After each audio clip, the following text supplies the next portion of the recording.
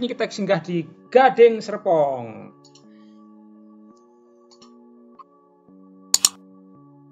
Pertama kali kita masuk di Gading Serpong, yang kita jumpai adalah Sumarekon Mall Serpong.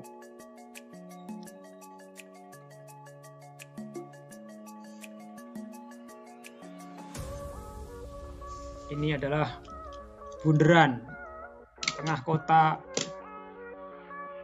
Gading Serpong yang posisinya sangat mepet atau berdekatan dengan SMS Mall. Di seberang sana ada Hypermart, di tengah-tengahnya ada kantornya Sumarekon dan Hotel Atria.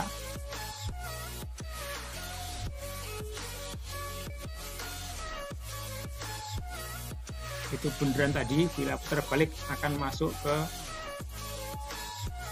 Sumarekon Mall Serpong.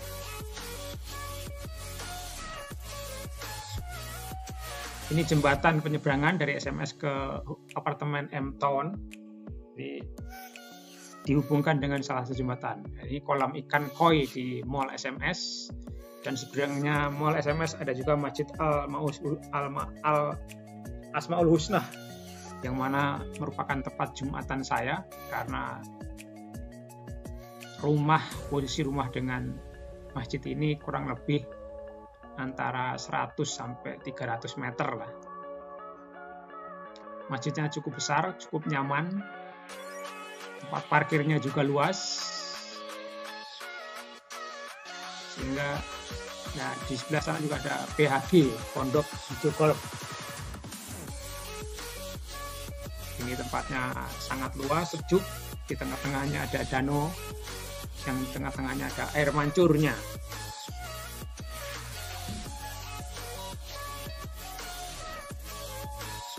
bagi yang suka golf silahkan dicoba tempatnya nyaman dan adem sekali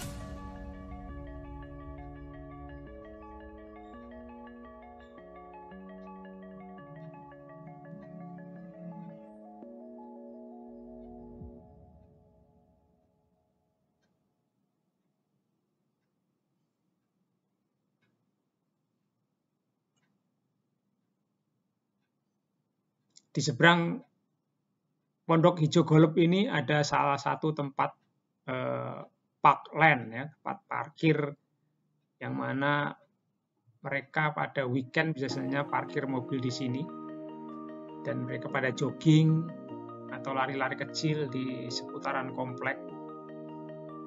Ada juga yang sepedahan start atau mulai dari sini dikarenakan tempatnya yang nyaman. Nah, di situ juga ada rumah sakit Bethsaida. Jadi ada fasilitas rumah sakit. Di seberangnya ada hotel, soliter hotel yang bentuknya sangat unik. Nah, di seberang sana juga ada Cynthia Park, ya, taman untuk bermain.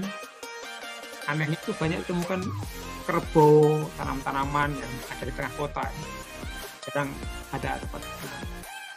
Seberangnya ada Simfonia, Simfonia ini kita bisa menemukan eh, danau Simfonia atau Simfonia Lake.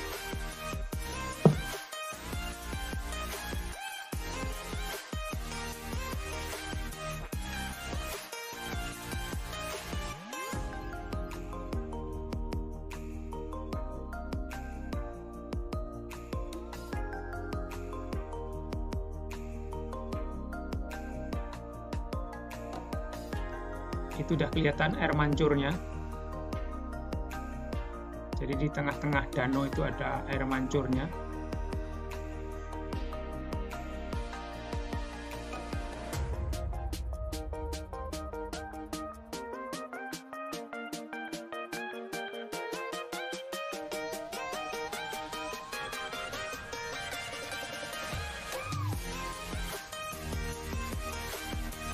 Di pinggir danau ada juga tempat parkir.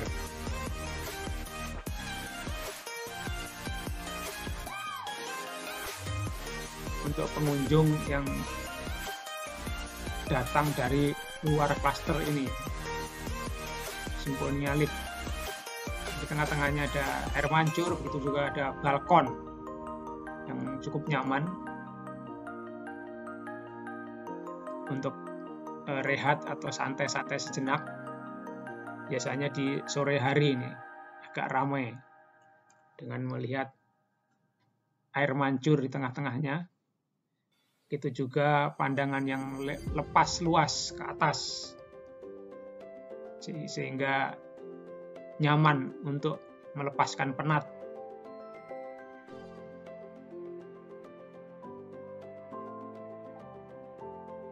ada juga uh, jogging track.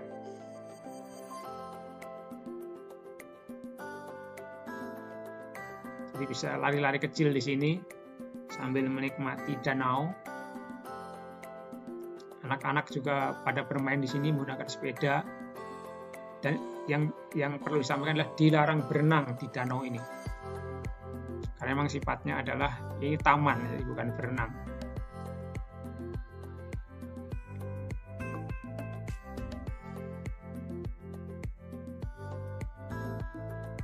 ini balkoninya dari dekat. Sepertinya seperti yang kita lihat. Jadi bisa biasanya sih pada selfie di sini ya. Karena tempatnya memang eh, cocok untuk selfie selfie. Instagramable lah. Bisa dikatakan demikian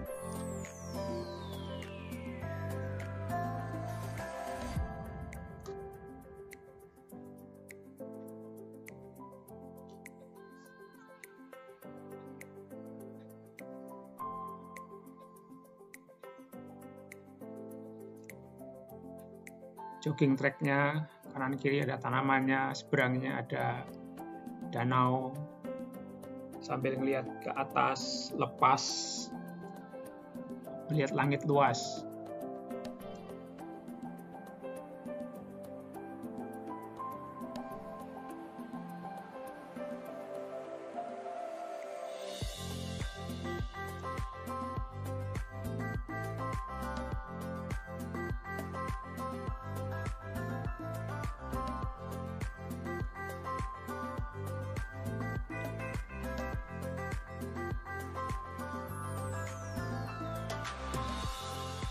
ada juga yang sepedahan anak-anak kecil di situ. Bahkan kalau Sabtu Minggu orang dewasa juga nuntun sepeda masuk ke dalam sini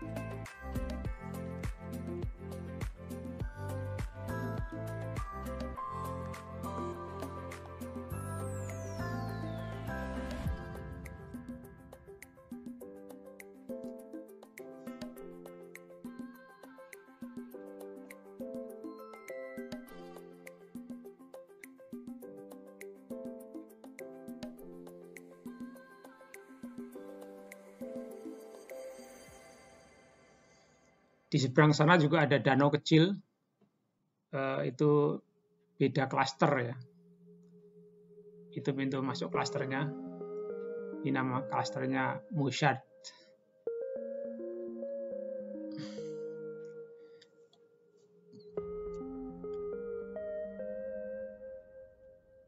Itu yang ujung itu, yang ujung warna kuning itu saya pernah masuk rumah sampel. Nah, tidak jauh ditemukan juga Taman Jajan Alugio. Di banyak depo-depo makan di sini. Minuman, makanan banyak banget pilihan.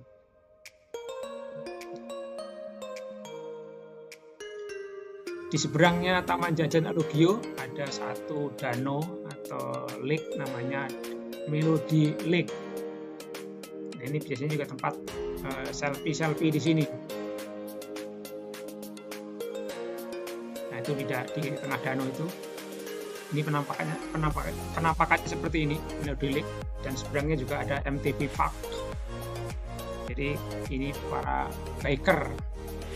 Tidak jauh dari situ ada tempat pendidikan namanya SMP Islam Al Azhar seberangnya juga ada SD Al Azhar begitu juga Universitas Multimedia Nusantara yang gedungnya unik, nih seperti sarang tawon. Hanya ada di sini ya gedung unik ini tak jauh dari situ juga ada salah satu universitas namanya Universitas Matana Matana Universitas. Dan di seberangnya ada penginapan juga ada namanya itu Hotel Ibis seperti yang kita tahu di depan sana ada Hotel Ibis sebelah kanan. Dan sebelah kirinya ada Atria Hotel dan apartemen. Ya, itu saja pernah yang kita tayangkan pada kesempatan jalan-jalan di Gading Serpong karena kita lagi suasana lebaran nggak boleh ke mana-mana akhirnya kita jalan-jalan di sekitar rumahan aja Terima kasih. Jangan lupa subscribe dan bunyikan lonceng.